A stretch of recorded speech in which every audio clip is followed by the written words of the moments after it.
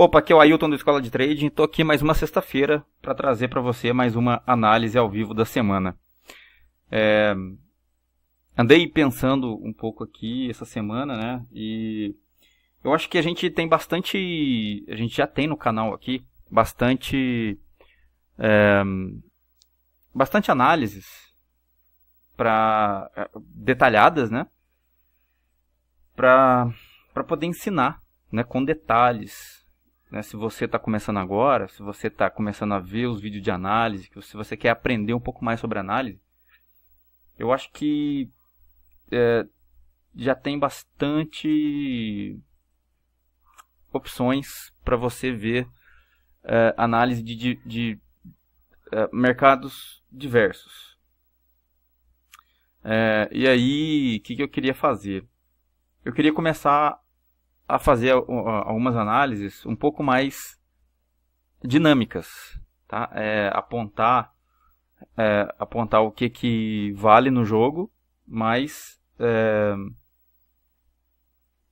apontar de forma mais rápida, até para, é, se for o caso, apontar mais de um jogo, né? Eu quero, eu quero otimizar o tempo de cada vídeo para poder até mesmo dar um pouco mais de opções.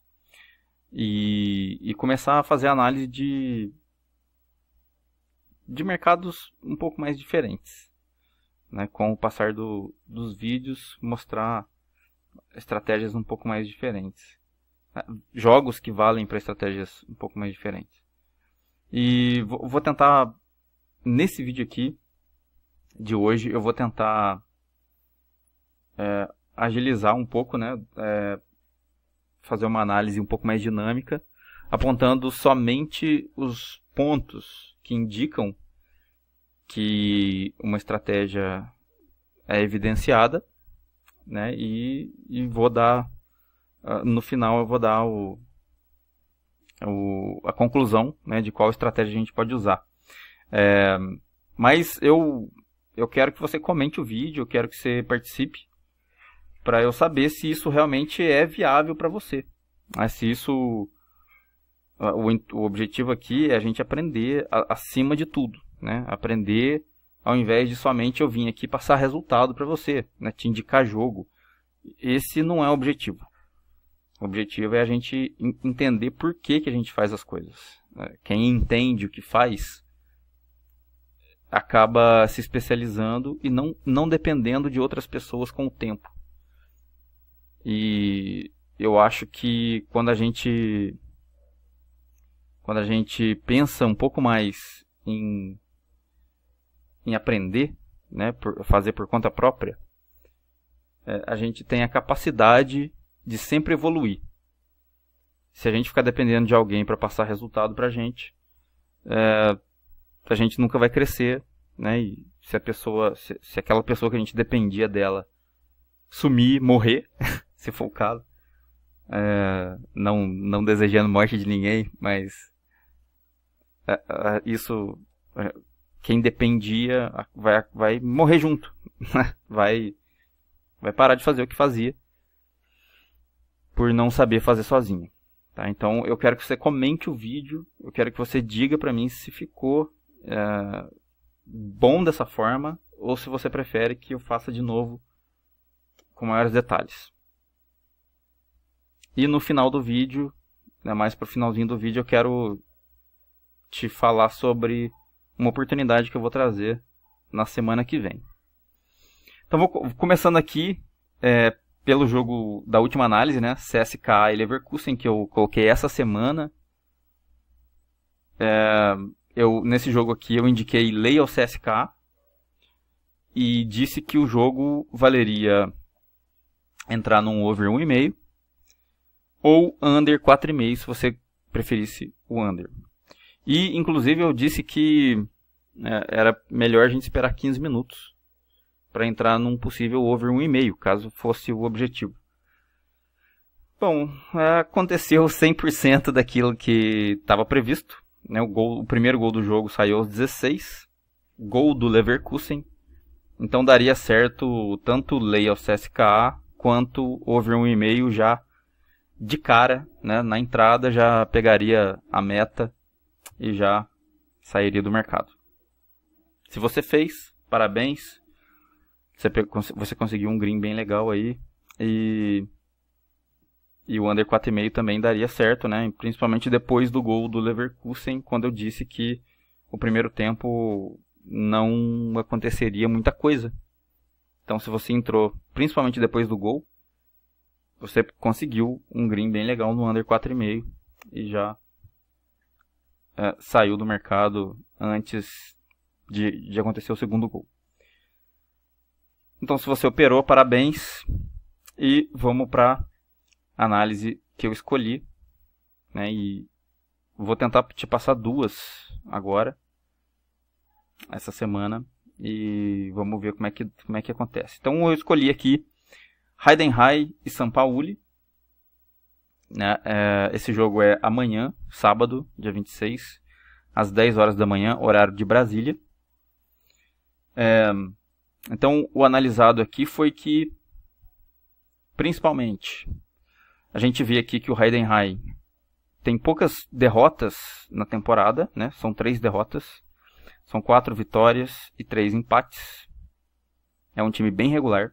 O São Paulo não, não ganhou nenhum jogo nos últimos 10 jogos, né? nem mesmo amistoso. Não conseguiu vitória nenhuma. É, na campanha, né, na classificação, o Heidenheim está em quarto lugar na segunda divisão do alemão, com 22 pontos. É, são 6 vitórias, 4 empates, 3 derrotas, 17 gols marcados e 10 sofridos. O São Paulo é lanterna, tem 6 pontos só, é, em 13 jogos. Tem uma vitória apenas no campeonato. São 3 empates e 9 derrotas. Marcaram 8 gols, sofreram 21 gols. Na classificação casa fora, né, o Heidenheim ele mantém a classificação aqui. É, tem uma derrota só, com 4 vitórias e 2 empates, 10 gols a favor, 4 contra a defesa do Heidenheim e o ataque são, são bastante eficientes. O São Paulo mantém a lanterna, né, são, é, é um ponto só em sete jogos, não venceu, tem um empate, seis derrotas, marcaram dois golzinhos apenas, sofreram 12. Né, sofreram mais gols do que o Heidenheim marcou aqui. Bom, dessa forma a gente vê aqui que a lei ao São Paulo é, ela tem valor, né? Principalmente pelo, pela campanha ridícula que ele faz. Não tem vitória. O Heidenheim tem uma derrota só. O restante dos jogos ele não perdeu. Então a lei ao São Paulo é, tem valor aqui. Beck ao Heidenheim, acredito que não vale. Por que não? Porque são o Heidenheim tem quatro vitórias e três jogos que ele não ganhou.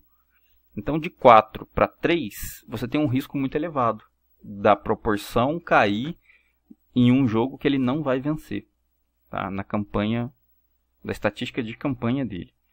Então, vale mais a Beck, aliás, vale mais a lei ao Sampaoli do que a Beck no Heidenheim. Tá? É, na análise classificativa, a gente vê que o São Paulo é 18º, ele entra aqui. Heidenheim não perdeu para nenhum time aqui de baixo da tabela. É, teve um jogo over 2,5 e um under. O Heidenheim é quarto. Ele entra aqui, debaixo do Hannover. Nessa parte aqui o São Paulo não ganhou de ninguém, nem empatou. Todos os jogos, quem abriu o placar foi o time da casa, né, contra quem o São Paulo jogou. Foi tiveram três jogos em under, tá? Aqui, ó, os mais próximos, quatro jogos em under. Esse uh, Sandhausen está muito longe já do do Heidenheim. É, então são, ele tem mais jogos em under, under 2,5. No quadro de gols, o Heidenheim tem uma média de gol marcado de 1,43. O São Paulo sofre quase 2 por jogo, 1,71. Marca 0,29, um ataque horroroso, né? Que não, não chega, chega um, a um terço de. A cada três jogos ele marca um gol. É, e o Heidenheim tem uma defesa bem forte, com menos de um gol por jogo. Os, o, a média de gols marcados mais sofridos dos dois times chega, uh, chega a dois. Então, por causa dessa média de gol marcado mais sofrido aqui, de dois para cada um, e levando em consideração que o Heidenheim sozinho ele te dá ele tem um ataque para te dar no máximo dois gols por jogo. É, então eu acredito que se você quiser fazer over aqui, esse jogo vale over 1,5. Tá? Por causa desses dados. Heidenheim com um ataque que pode te dar dois gols por jogo. E os dois times têm média de gol marcado mais sofrido de dois gols por jogo. Então over 1,5. Under eu não aconselho você fazer under. Por que não? Porque o Sampaoli, ele tem muito, tem uma média muito alta de gol sofrido. Dois gols sofridos por jogo é uma média muito alta. Isso indica que o Sampaoli tem tendência a erro individual. E se você entra em under e o Sampaoli resolve errar, você vai ficar preso com um gol atrás do outro. Então é melhor não fazer under nesse jogo, ok? Jogos sem sofrer, o Heidenheim tem 57% dos jogos sem sofrer e 14% sem marcar. Então ataque eficiente, defesa também. O Sampaoli, 71% dos jogos sem marcar e sofre gol em todo sofreu gol em todos os jogos que fez até aqui fora de casa. Defesa nem um pouco eficiente e ataque também não. Tá quase em só 30% dos jogos ele marcou gol. Jogos com mais de 2,5, 43% do Heidenheim, 57% em over. São Paulo 71% em under, 29% em over.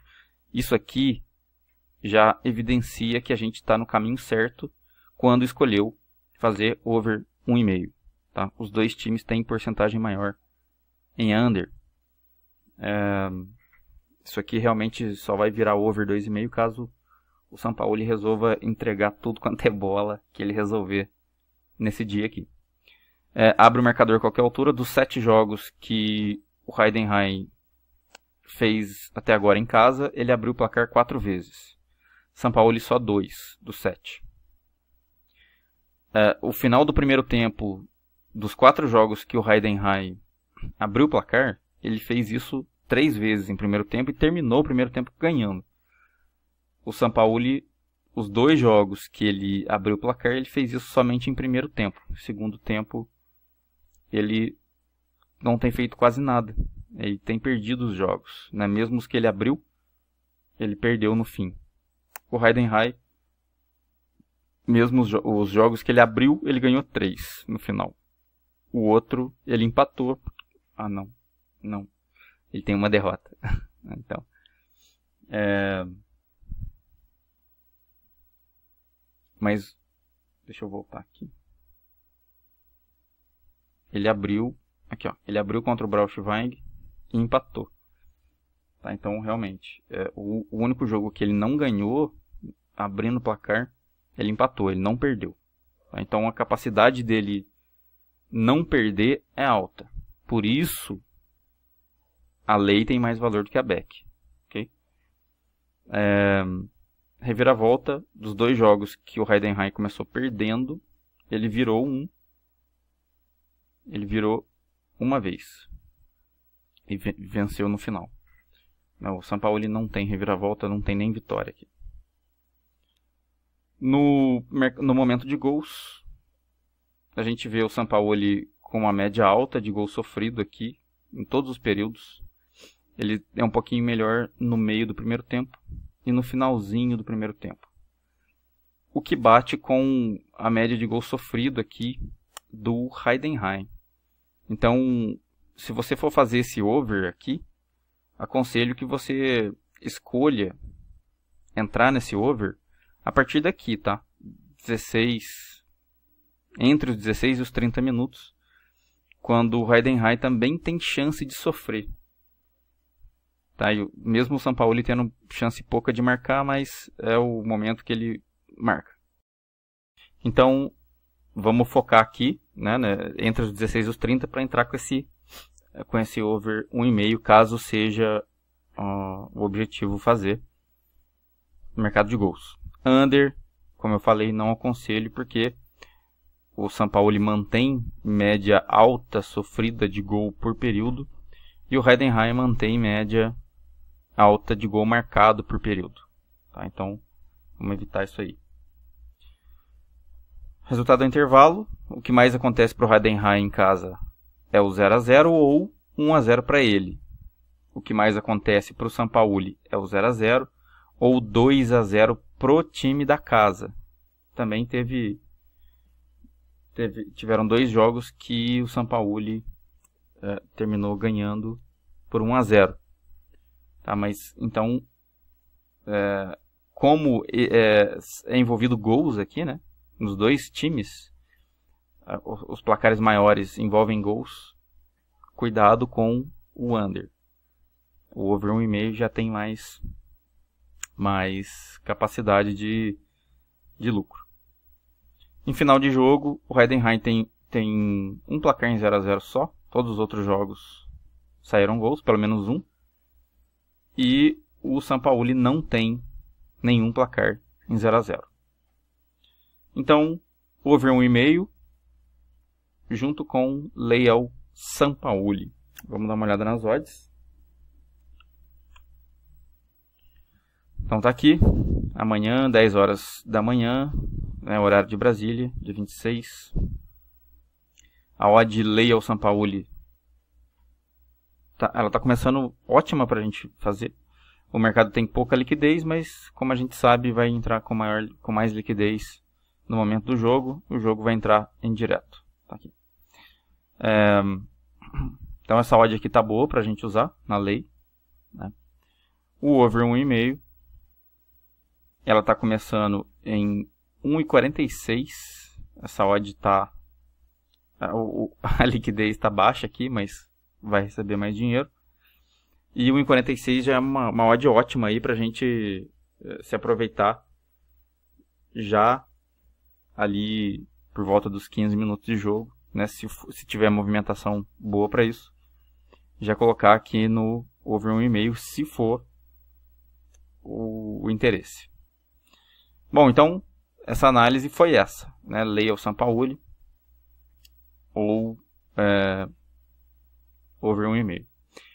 E aí, é, quero trazer para você um outro jogo, né, vamos testar aqui uma outra análise rapidinha que eu quero mostrar. Chelsea e Tottenham. Também amanhã, três e meia da tarde, horário de Brasília, né, é, pela, pelo campeonato inglês. Aí você pode pensar, pô, mas é um jogo é um jogo dividido, é um clássico inglês, tal. É complicado esse jogo. Pode até ser, mas vou te mostrar o que, que vale aqui. É, o Chelsea nos últimos três anos, né, o Chelsea a gente tem um empate aqui, outro, vitória do Chelsea, uma vitória do Tottenham, Chelsea, Chelsea, empate. Então o Tottenham tem uma vitória, o resto o Chelsea não perdeu nos últimos três anos. Dos últimos dez jogos em todas as competições, o Chelsea tem três derrotas e um empate. São seis vitórias. O Tottenham tem duas vitórias e o resto ele não ganhou. É derrota. Junto com o empate. Classificação do campeonato: Chelsea é líder, 28 pontos, 12 jogos, 9 vitórias, um empate e duas derrotas. 27 gols a favor e 9 contra.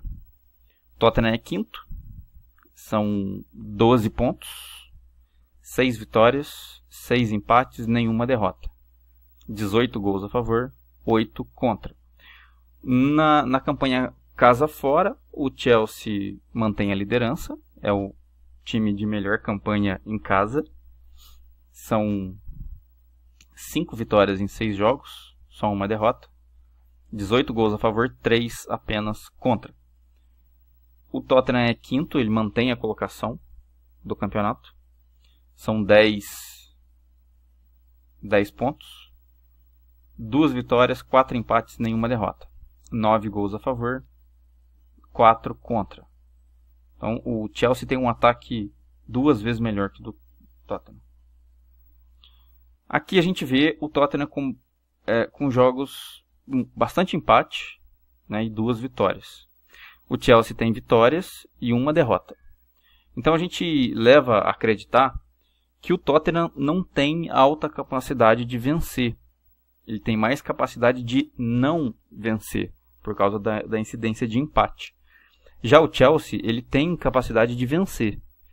O que leva a acreditar que a estatística mostra que lei ao Tottenham vale. Ok? Lei ao Tottenham vale aqui. Por causa dessa alta capacidade do Tottenham não vencer. Na análise classificativa, Tottenham é quinto. Ele entra aqui é, em cima do United. O Chelsea ganhou dois jogos aqui. Perdeu para o Liverpool. Foi a única derrota. Os jogos foram over 2,5, todos eles. Né? O Chelsea é primeiro, entra aqui. O Tottenham tem jogos em under 2,5. Quem abriu o placar sempre foi o time da casa. E foram jogos que ele não ganhou.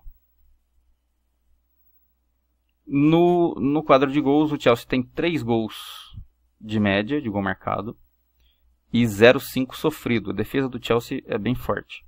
O Tottenham já tem 1,5 marcado e 0,67 sofrido. As defesas são parecidas, mas o Chelsea, o ataque do Chelsea é duas vezes melhor. Média de gol marcado mais sofrido, 3,5 para o Chelsea, 2,17 para o Tottenham. Pelo motivo do Tottenham sozinho te dar poder te dar quase dois gols por jogo, e por causa das defesas serem defesas fortes, e esse aqui ser um clássico, aconselho você não fazer over 2,5, tá? Inclusive levar em consideração essa média de gol marcado mais sofrido do Tottenham, já que a gente acabou de ver que ele tem vários empates em 1 a 1. Então, over 1,5 aqui, tá? Se você quiser fazer under, aqui eu acredito que é, tem mais valor under aqui do que naquele jogo do Heidenheim. Então, se você quiser fazer under, pode fazer um under 4,5. Por quê? Porque o Tottenham tem muitos jogos em empate e 1 a 1 e as duas defesas são defesas fortes. Talvez não saia muito gol nesse jogo. O Chelsea tem 67% dos jogos sem sofrer gol. O Tottenham tem 33%, metade do Chelsea. O Chelsea marca, marcou gols em todos os jogos até aqui. O Tottenham não marcou em 17%, o que mostra que o ataque do Chelsea é muito mais eficiente. Jogos com mais de 2,5, 100% para o Chelsea, 33% do Tottenham. E aqui entra um detalhe. Essa semana o Tottenham jogou um jogo da, da Europa League. Jogou contra o Mônaco. E, e foi lá na França. Então o Tottenham já, já, já se desgastou naquele jogo. E, e agora vem jogar um clássico contra o Chelsea. O Chelsea não jogou na semana, ele treinou para esse jogo. Por causa disso, o elenco do Tottenham já vem cansado. Pode ser mais um motivo que o Chelsea leve vantagem nesse jogo, inclusive pelo ataque mais forte do que do Tottenham. Okay? É, mas pelo mesmo motivo de pressão e de cansaço, aconselho você não ultrapassar o over 1,5. Abre o marcador a qualquer altura. O Chelsea, dos seis jogos que fez em casa, abriu o placar em cinco. O Tottenham, somente dois dos seis. O, Tot o Chelsea, dos cinco jogos que abriu o placar, quatro foram. Quatro jogos ele terminou o primeiro tempo ganhando. O Tottenham ganhou os dois primeiros tempos, onde ele abriu o placar. Venceu os dois jogos no final, que ele abriu o placar. Mas o Chelsea venceu todos os cinco jogos que ele abriu o placar. Então tem mais. O jogo tende a virar mais para o Chelsea. Momento de entrada de over 1,5. Aconselho usar a mesma técnica de leitura do Heidenheim. O Chelsea sofre gol aqui, nessa área do primeiro tempo, e mantém uma média de gol marcado por período. Como o Tottenham sofre nesses períodos também, você pode tentar entrar depois dos entre os 16 e os 30 ou um pouco depois disso, para aproveitar esses momentos que o Chelsea sofre gol, tá? Mas só por causa de você ter uma maior densidade de gols aqui. Não ficar dependendo de um time só. Tá? E aí o segundo tempo ele tem mais. O ataque dos times é um pouquinho melhor. O ataque dos times é um pouquinho melhor do que no primeiro tempo. Os dois times. O, os resultados ao intervalo. Chelsea, o placar que mais acontece é o 2 a 0 para o Chelsea. Três jogos. E o, os placares que mais aconteceram até aqui para o Tottenham foi 1 a 0 para o time da casa e o 0 a 0 O que tende para o Chelsea. Em final de jogo não tem 0 a 0 o Chelsea. E o Tottenham tem 1 0 a 0 só. Todos os outros jogos aconteceram gols, o que leva a acreditar que pelo menos um gol possa acontecer. Vamos dar uma olhada nas odds. Deixa eu mudar aqui para o Chelsea. Então aqui a gente tem o mercado de probabilidades. Lei ao Tottenham 5.3.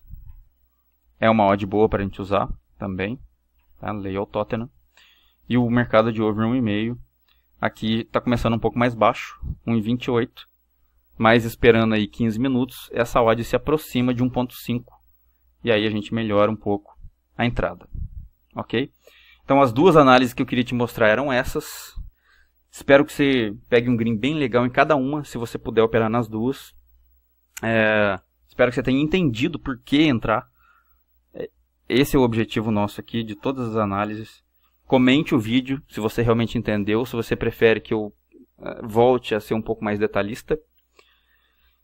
E eu queria falar de uma oportunidade que eu vou trazer é, a partir da semana que vem, segunda-feira já, é, não sei se você é cadastrado no site do Escola de Trading.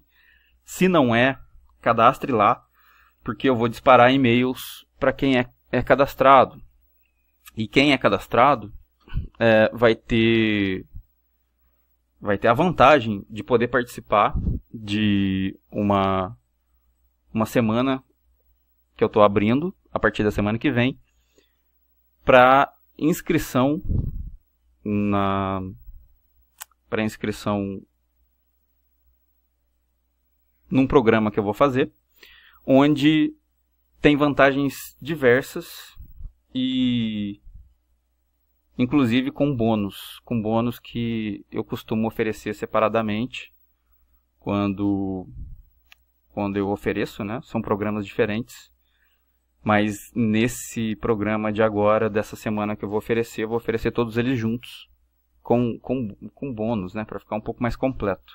Então, se você quer ter essa oportunidade, cadastra no site e, e aguarda, aguarde o, os e-mails dessa semana que vem. É, hoje eu já andei mandando e-mails para quem já é cadastrado no site, né, avisando que vai acontecer isso. Se você ainda não é, cadastrado, aconselho você cadastrar nesse final de semana para poder uh, começar a receber as orientações nessa semana que vem.